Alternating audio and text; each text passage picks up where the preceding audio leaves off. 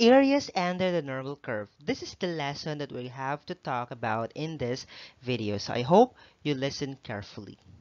To begin, let's know about z-table. So here are the steps in finding the areas under the normal curve given a z value. First thing is to express the given z value into a three-digit form. After that, we're going to have to use the z-table and find the two digits on the left column. Then match the third digit with the appropriate column on the right. And lastly, we have to read the area or the probability at the intersection of the row and the column. And that is now the required area of the region. To illustrate, here is an example. Here we have a z-table. Now, let me give you some values for z-score. For example, z is equal to 1. The first step is to transform or write this digit into three-digit form, and that is 1.00. And then we have to locate the first two digits on the left column, or the first column, 1.0, and that is probably here. And then the third digit is 0, and that is 0 And then we have to intersect the given rows and column and their intersection, that is 0.3413. This value is now the area at z is equal to 1. Another example, z is equal to 0.78. This value is already in the three-digit form, so we're now going to locate the first two digit, and that is 0.07. Here is the location, and the third digit is 8, and this is the location, and then we have to locate and intersect. So their intersection is at 0.2823. This value is the area at z is equal to 0.78. Next, how about z equals 1.24? First thing to do is to locate the first two digits, that is 1.2 on the left column of the z-table. 1.2 that is here and here and then the fourth digit, third digit rather, is 4. That is 0 0.04. That is in here. Then gonna have to intersect the row and the column. And then the intersection is at 0.3925. And that is now the area at z equals 1.24. Another one. How about z is equal to 0 0.06?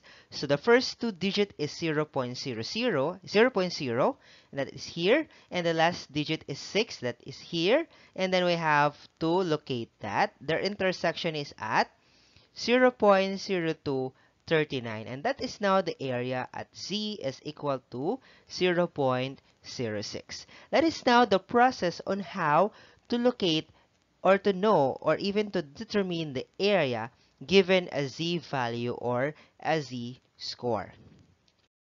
An important reminder, I want you to note further that by symmetry of the normal distribution, the area between z equals 0 and any point to the left is equal to the area between z equals 0 and to the point equidistant to the right. So, so from 0 at the middle going to the right of the curve, that is also the same from 0 or at the center going to the left of the curve because of this what we call bisymmetry which is one of the properties of a normal curve or a normal distribution. Now, let's proceed on locating area of region given a z-score value in determining probabilities. Okay, but before we proceed, let me introduce to you first how to use probability notation in denoting the area of a given z-value. So here we have an example. So this one, so this symbol, this notation denotes the probability that the z-score is between A and B. Okay, the z-score is between A and B. This is the symbol or the notation. And this notation denotes the probability that a z-score is greater than A. So z-score is greater than A and this one denotes the probability that the z-score is less than A. For example, to denote the area between z equals 1 and z equals 2, we use the notation P, quantity, we have here z greater than 1 but less than 2 which is equal to 0.1359 which we can read as the probability that the z-score falls between z equals 1 and z equals 2 is 0.1359. So that is how we read this notation. Okay, take note of that. Now, here is the steps in determining areas under the normal curve. The first one is to draw a normal curve. Then locate the given z value or values on the baseline or on the x-axis. Then draw a vertical line through these values.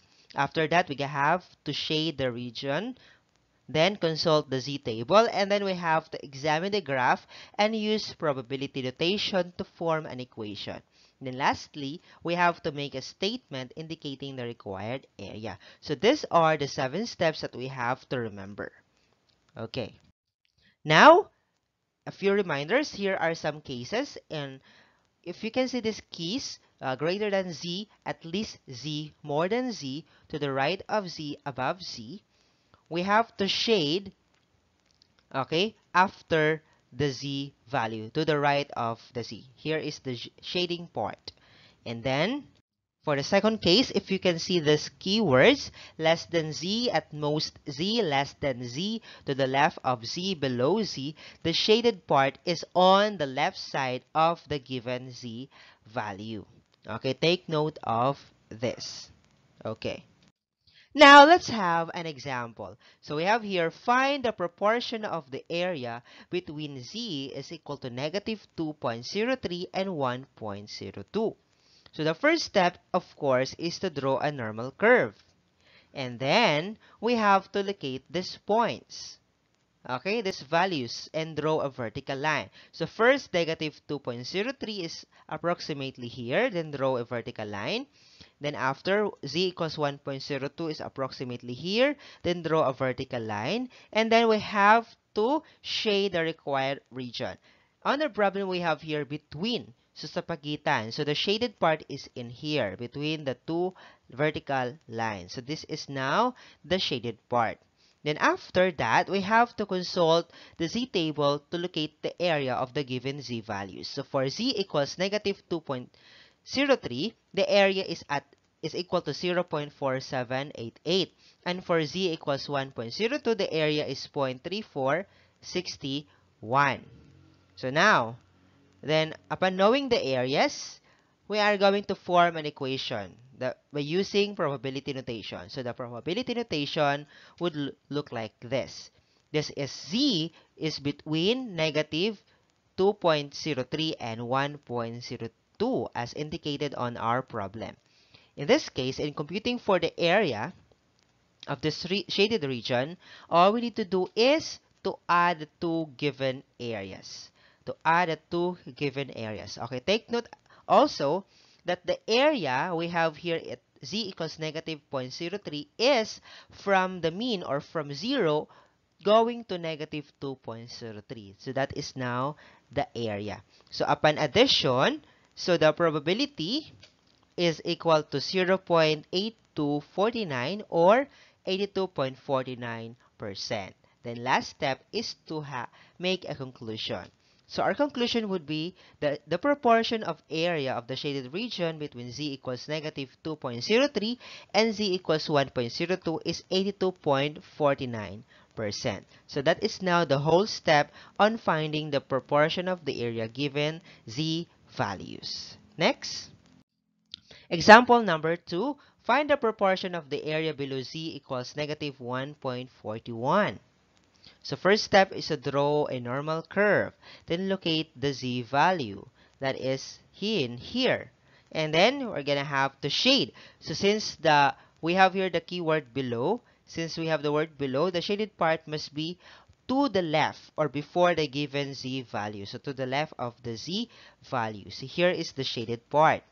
Then after that, we have to consult the z table. So z equals to negative 1.41 is is having an area of 0.4207. And then let's have a probability notation. Our probability notation would be z is less than negative 1.41. Then how are we going to determine its area or the area of the shaded part in the curve? So that is by subtracting 0.4207 to 0.5 thousand. So why we are go so why we need to subtract this area to 0.5 thousand? Okay, take note that on the properties given, each halves of the curve is equal to 50% or 0.5 thousand. Okay, so the area we have here for z equals negative 1.41 is the area from 0 or from the center going to z equals negative 1.41.